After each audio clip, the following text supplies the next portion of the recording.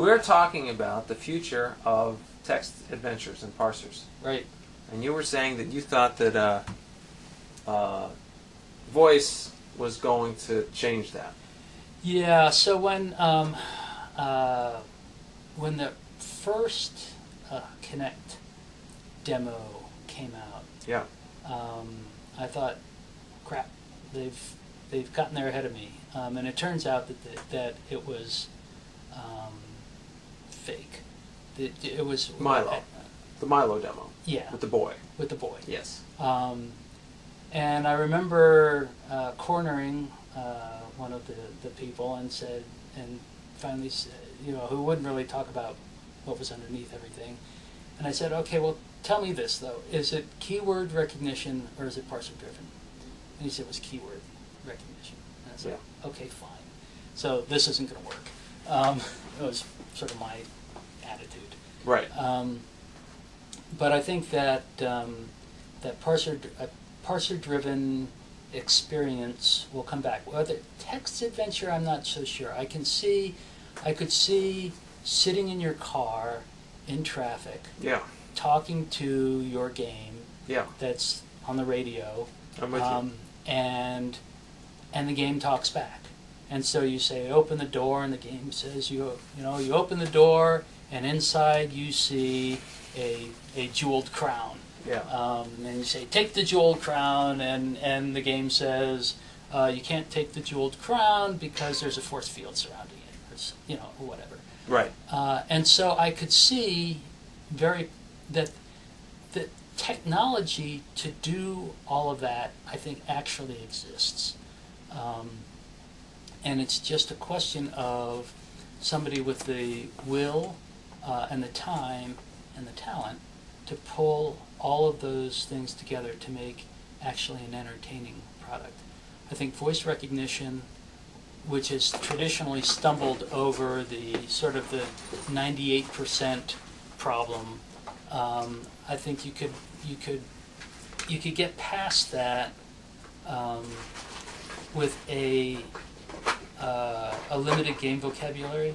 Uh, Mhm. of, uh, a, so where it doesn't have to understand hundred thousand words, Yeah. but you know if it only needed to understand five thousand words, that'd be a lot easier. And five thousand words is probably all you need. yeah. Um, uh, the uh, th- there already exists text text in voice out so the responses that i as a writer would write could you know you know a program can read that um, Yeah. and right now it reads it in a pretty mechanical non-interesting way and that's not very friendly um, uh, the mix of of that uh, and um, where I would see an advance in technology that would help that is uh, is, is character inflected. So text to voice that, that could have um, character uh, inflections and um, syntactical uh, uh, inflections embedded in the text. Yeah. So, you know, you put an exclamation point, uh, you know, behind wow, and the, and the text knows that whether to say wow or Yeah. There was a really there was one that really impressed me. It came out of Media Lab uh, a few years back, and I haven't seen follow up work on it. I really should go find a link to it. But uh, these guys tried to make a you know simple parser based question and answer system um, that featured a character in an environment who was aware of his environment. So you'd see him, you know, he's there, he's kind of leaning on this car, and he's standing by a coffee shop, and there's other things in the environment. And uh, you'd ask him things like, you know, is that your car? And he'd look at the car and be like, oh, well, it, it was very natural. He'd like look at what he was Mhm. talking about, you, you know, and uh, in, in the just the way like a real person Mhm. would. And that was, I felt like that was like this big step in terms of having AI that behaved more Mm-hmm. more human like. Mm-hmm. Um, uh, now, have you heard Chris Swain's prediction in this regard? No. So Chris Swain makes this really interesting statement. This very bold statement. He argues that games are uh, are now where where uh, silent films were back in the days Mhm. of silent films, and making the analogy that people didn't take silent films very seriously. They were seen as kind of an aside, kind of uh, uh, not not not a real art form, more of an amusement, not Mhm. for everybody. But then, as soon as they could talk, they just took over, Mhm. right? I mean, and his his statement is that film was the literature of the twenty of the twentieth century. Sure.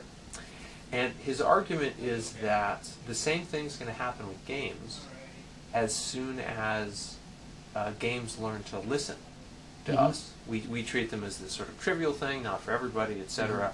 But then once you have characters in games that can have a real conversation with you, Mhm. suddenly they will become the most powerful medium that we have. And his argument then is that games will be the literature of the 21st century.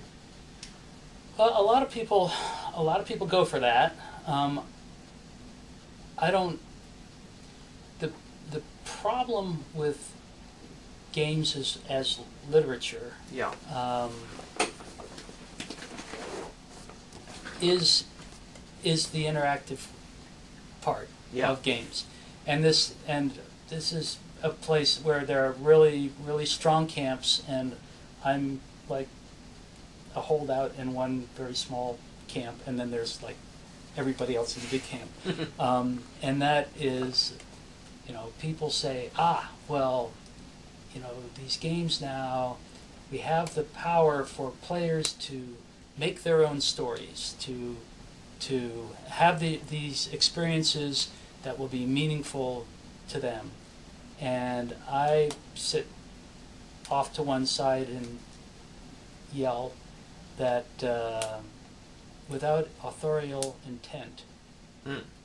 you cannot have a good story or um, or, or a very good story.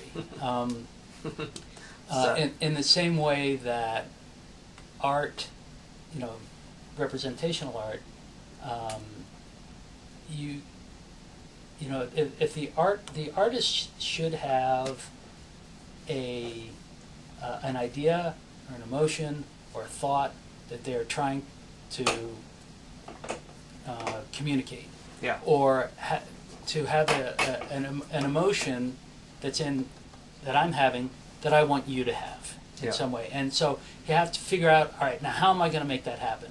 Now there's some emotions that can be transmitted through, you know, chaos. So if you have a chaotic emotion and you do a chaotic pi- picture, maybe you create that sense of chaos in, in another person.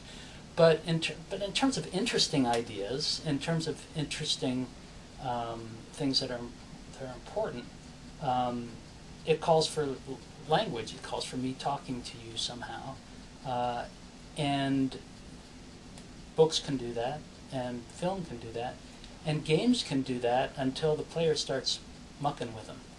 Uh, and so the challenge of game design as a as a literary form is to let the game the players mucking about actually turn into create end up creating the experience inside of him that you wanted him to have. Mm.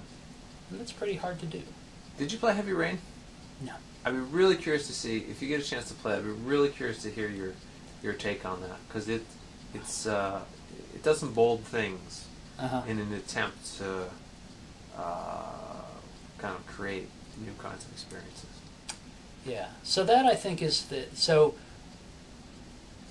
that's the that's the most interesting thing about games to to Okay. me.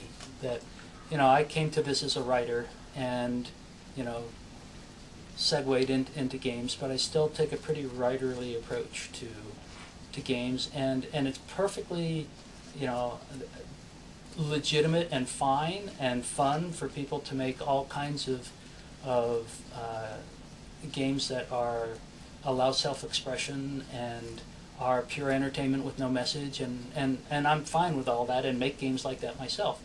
But in terms of what I'm interested in, uh, it would be solving that Hmm.